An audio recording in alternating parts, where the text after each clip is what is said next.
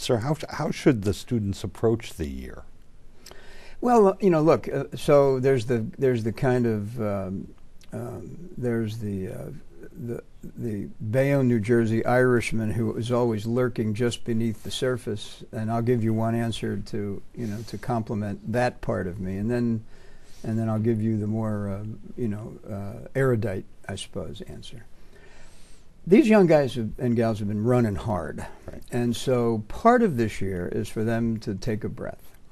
And they should. You know they should inside of their seminar rooms and or as a class they should enjoy each other's company both um, in the classroom and on athletic fields and and socially.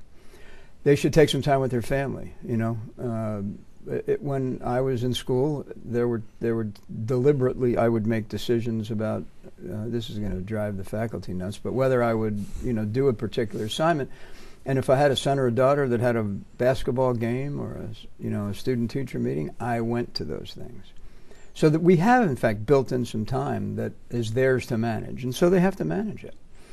Um, on the other side, I, I hope that they um, become more curious this year. There's there are so many things out there about which they should be genuinely curious. You know, I mean, I, you know, in my job, there's things that I have to know about global economy that just surprise me sometimes. You know, the degree to which I need to know something about the global economy, or something about the laws that uh, that shape our approach to this, you know, unaccompanied alien children crisis on our southern border.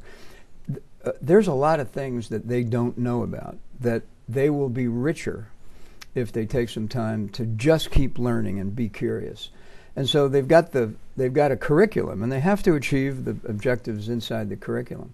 But I hope that they also become broadly curious about what makes the world work because the jobs that they'll have in the future will require them not just to understand the military instrument of power, but actually how our government functions.